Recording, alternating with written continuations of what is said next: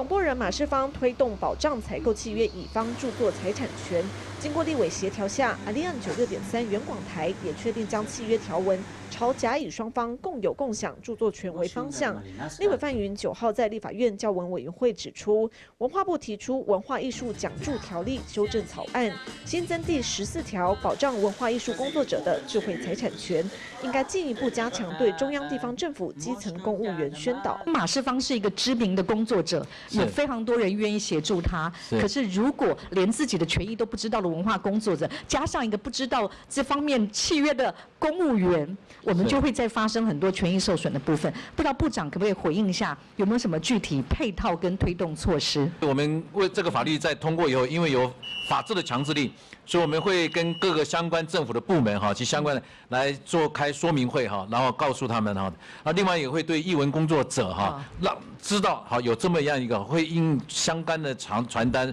说明会，而且会建立申诉的制度哈。立委高金素梅则针对各类文化艺术奖励及补助申请，经常接到原名译文工作者不善于撰写计划陈情案件。要求文化部建立更完善审核机制。非常多的译文工作者说什么，他们只会创作，而且他们也会呃做文化保存的工作，但是他们不会写计划，向公部门来申请计划。他们当然更没有足够的经费要请所谓的撰写计划的人员代写。我们过去哈一直都是以评审制度哈是来作为。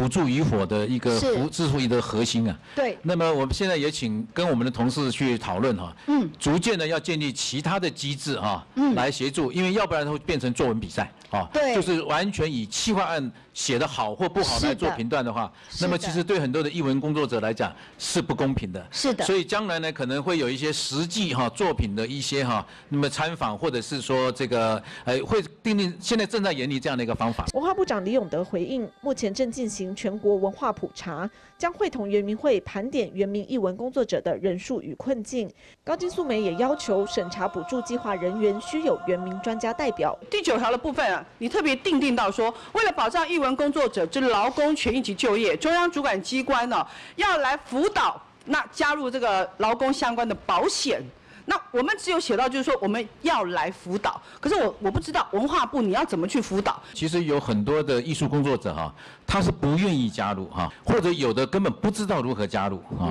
所以我们对于不知道如何加入部分，我们当然会提供他一些法律上的咨询，甚至有一些手程序上哈，我们会啊那个协助他。万美玲要求文化部不止辅导，更应进一步了解译文工作者不愿纳入劳保的背后原因，才能有效提出具体修法，真正扶植译文产业。原视新闻朱古已故立法院采访报道。